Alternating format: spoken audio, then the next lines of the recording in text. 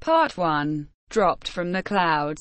Chapter 14. Dot. The next day, the 16th of April, an Easter Sunday, the settlers issued from the chimneys at daybreak and proceeded to wash their linen. The engineer intended to manufacture soap as soon as he could procure the necessary materials soda or potash, fat or oil. The important question of renewing their wardrobe would be treated of in the proper time and place. At any rate their clothes would last at least six months longer, for they were strong, and could resist the wear of manual labor. But all would depend on the situation of the island with regard to inhabited land. This would be settled to day if the weather permitted. The sun rising above a clear horizon announced a magnificent day, one of those beautiful autumn days which are like the last farewells of the warm season. It was now necessary to complete the observations of the evening before by measuring the height of the cliff above the level of the sea. Shall you not need an instrument similar to the one which you used yesterday? said Herbert to the engineer. No, my boy, replied the latter. We are going to proceed differently, but in as precise a way. Herbert, wishing to learn everything he could, followed the engineer to the beach. Pencroft, Neb, and the reporter remained behind and occupied themselves in different ways. Cyrus Harding had provided himself with a straight stick, 12 feet long, which he had measured as exactly as possible by comparing it with his own height, which he knew to a hair. Herbert carried a plumb line which Harding had given him, that is to say, a simple stone fastened to the end of a flexible fiber, having reached a spot about 20 feet from the edge of the beach, and nearly 500 feet from the cliff, which rose perpendicularly. Harding thrust the pole two feet into the sand, and, wedging it up carefully, he managed, by means of the plumb line, to erect it perpendicularly with the plane of the horizon. That done, he retired the necessary distance. When, lying on the sand, his eye glanced at the same time at the top of the pole and the crest of the cliff. He carefully marked the place with a little stick. Then addressing Herbert, do you know the first principles of geometry? He asked. Slightly, Captain, replied Herbert, who did not wish to put himself forward. You remember what are the properties of two similar triangles? Yes, replied Herbert. Their homologous sides are proportional. Well, my boy, I have just constructed two similar right-angled triangles. The first, the smallest, has for its sides the perpendicular pole, the distance which separates the little stick from the foot of the pole and my visual ray for hypotenuse. The second has for its sides the perpendicular cliff, the height of which we wish to measure, the distance which separates the little stick from the bottom of the cliff, and my visual ray also forms its hypotenuse, which proves to be prolongation of that of the first triangle. Ah, Captain, I understand, cried Herbert, as the distance from the stick to the pole is to the distance from the stick to the base of the cliff, so is the height of the pole to the height of the cliff. Just so, Herbert, replied the engineer, and when we have measured the two first distances, knowing the height of the pole, we shall only have a sum in proportion to do, which will give us the height of the cliff, and will save us the trouble of measuring it directly. The two horizontal distances were found out by means of the pole, whose length above the sand was exactly 10 feet. The first distance was 15 feet between the stick and the place where the pole was thrust into the sand. The second distance between the stick and the bottom of the cliff was 500 feet. These measurements finished. Cyrus Harding and the lad returned to the chimneys. The engineer then took a flat stone which he had brought back from one of his previous excursions, a sort of slate, on which it was easy to trace figures with a sharp shell. He then proved the following proportions. 15, 500, 10, x, 500 by 10, 5000, 5000, 15, 333, 3, from which it was proved that the granite cliff measured 333 feet in height. Cyrus Harding then took the instrument which he had made the evening before, the space between its two legs giving the angular distance between the star Alpha and the horizon. He measured, very exactly, the opening of this angle on a circumference which he divided into 360 equal parts. Now, this angle by adding to it the 27 degrees which separated Alpha from the Antarctic pole, and by reducing to the level of the sea the height of the cliff on which the observation had been made, was found to be 53 degrees. These 53 degrees being subtracted from 90 degrees, the distance from the pole to the equator, there remained 37 degrees.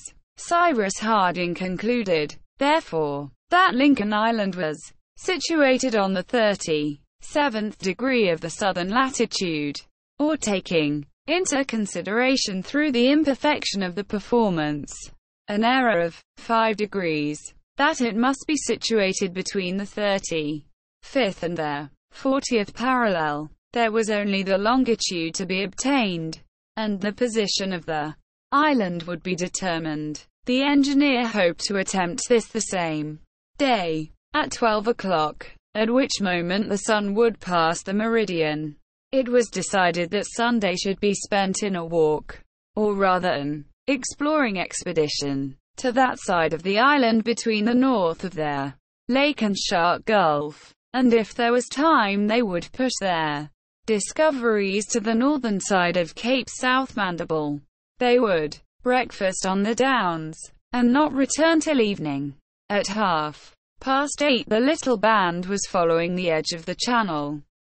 On the other side, on Safety Islet, numerous birds were gravely strutting. They were divers, easily recognized by their cry, which much resembles the braying of a donkey. Pencroft only considered them in an eatable point of view, and learnt with some satisfaction that their flesh, though blackish, is not bad food. Great amphibious creatures could also be seen crawling on the sand. Seals, doubtless, who appeared to have chosen the islet for a place of refuge. It was impossible to think of those animals in an alimentary point of view, for their oily flesh is detestable. However, Cyrus Harding observed them attentively, and without making known his idea, he announced to his companions that very soon they would pay a visit to the islet. The beach was strewn with innumerable shells, some of which would have rejoiced the heart of a conchologist. There were, among others, the Phasianella, the Terebratule, etc. But what would be of more use was the discovery, by Neb, at low tide, of a large oyster bed among the rocks nearly five miles from the chimneys. Neb will not have lost his day, cried Pencroft, looking at the spacious oyster bed.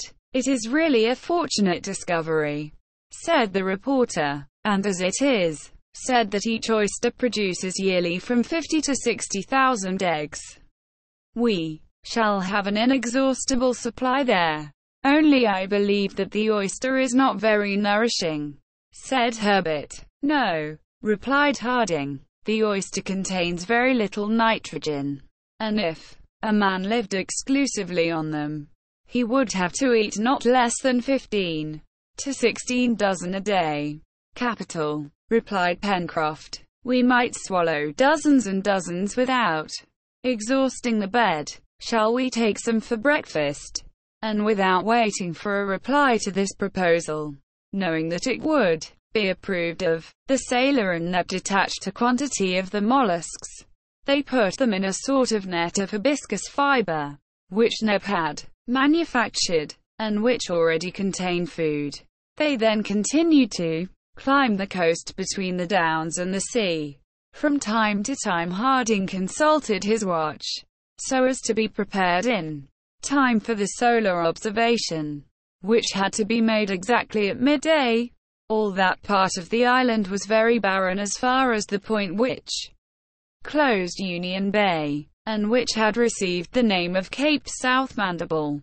Nothing could be seen there but sand and shells, mingled with debris of lava. A few sea birds frequented this desolate coast. Gulls, great albatrosses, as well as wild duck, for which Pencroft had a great fancy. He tried to knock them over with an arrow, but without result, for they seldom perched, and he could not hit them on the wing. This led the sailor to repeat to the engineer, You see, Captain, so long as we have not one or two fowling pieces, we shall never get anything. Doubtless, Pencroft, replied the reporter, but it depends on you. Procure us some iron for the barrels, steel for the hammers, saltpeter, coal and sulfur for powder, mercury and nitric acid for the fulminate, and lead for the shot, and the captain will make us first rate guns. Oh, replied the engineer, we might, no doubt, find all these substances on the island, but a gun is a delicate instrument, and needs very particular tools. However, we shall see later. Why, cried Pencroft, were we obliged to throw overboard all the weapons we had with us in the car? All our implements, even our pocket knives. But if we had not thrown them away, Pencroft, the balloon would have thrown us to the bottom of the sea, said Herbert. What you say is true, my boy, replied the sailor. Then passing to another idea, think, said he, how astounded Jonathan Forster and his companions must have been when, next morning, they found the place empty, and the machine flown away. I am utterly indifferent about knowing what they may have thought, said the reporter. It was all my idea. That, said Pencroft, with a satisfied air. A splendid idea, Pencroft, replied Gideon Spilett, laughing, and which has placed us where we are.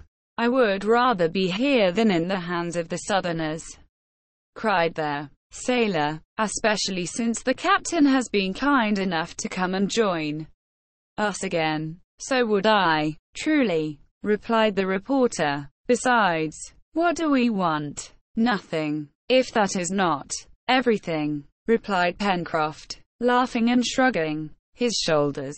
But, some day or other, we shall find means of going away.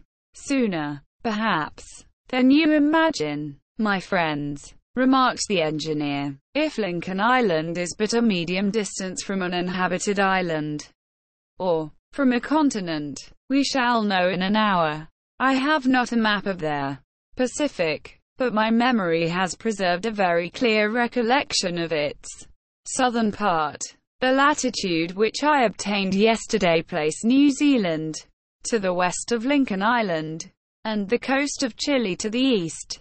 But, between these two countries, there is a distance of at least 6,000 miles. It has, therefore, to be determined what point in this great space the island occupies, and this the longitude will give us presently.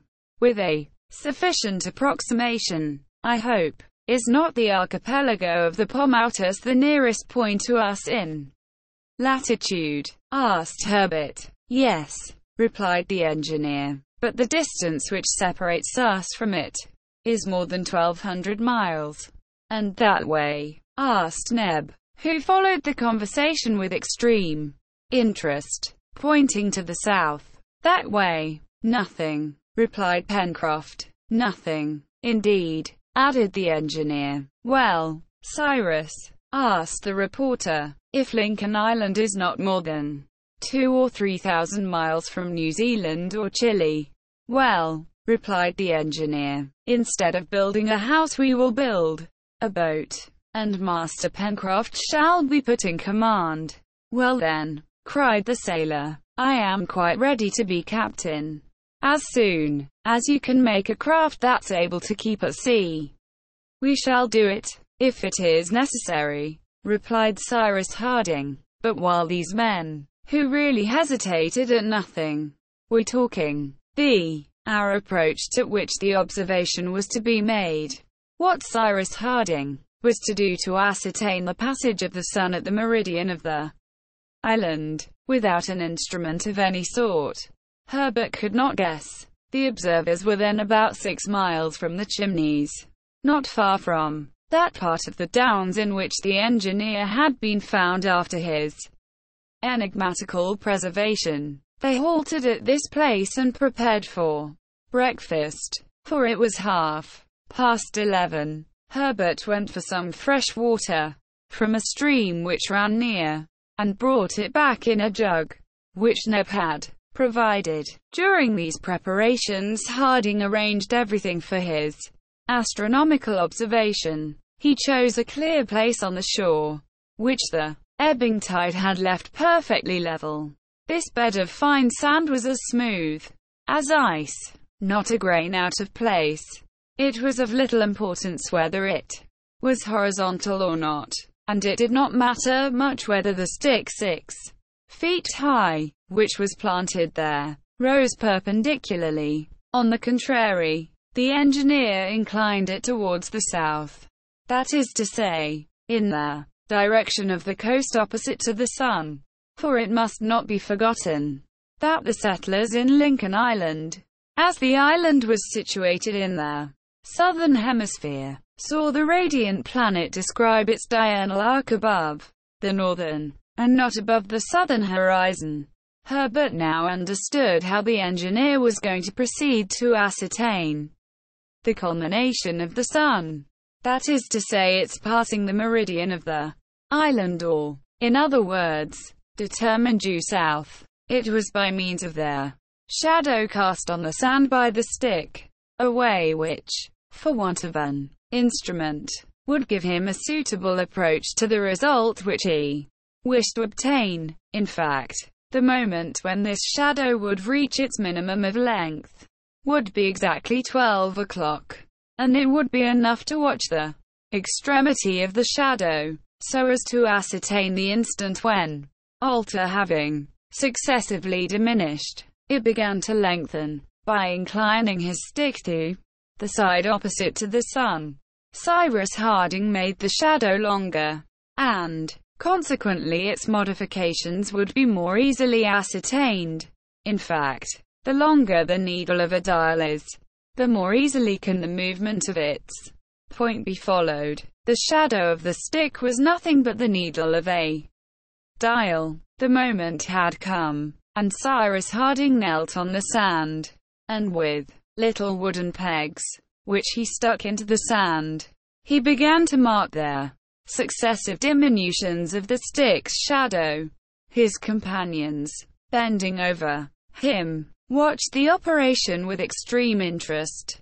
The reporter held his chronometer in his hand, ready to tell the hour which it marked when their shadow would be at its shortest. Moreover, as Cyrus Harding was working on the 16th of April, the day on which the true and the average time are identical, the hour given by Gideon Spilett would be the true hour then at Washington which would simplify the calculation. Meanwhile as the sun slowly advanced, the shadow slowly diminished, and when it appeared to Cyrus Harding that it was beginning to increase, he asked, What o'clock is it? One minute past five, replied Gideon Spilett directly. They had now only to calculate the operation. Nothing could be easier. It could be seen that there existed, in round numbers, a difference of five hours between the meridian of Washington and that of Lincoln Island. That is to say, it was midday in Lincoln Island when it was already 5 o'clock in the evening in Washington. Now the sun, in its apparent movement round the Earth, traverses 1 degree in 4 minutes, or 15 degrees an hour. 15 degrees multiplied by 5 hours gives 75 degrees. Then, since Washington is 773 feet 11, as much as to say 77 degrees counted from the meridian of Greenwich which the Americans take for their starting point for longitudes concurrently with the English. It followed that the island must be situated 70 7 and 75 degrees west of the meridian of Greenwich. That is to say, on the 150 second degree of west longitude.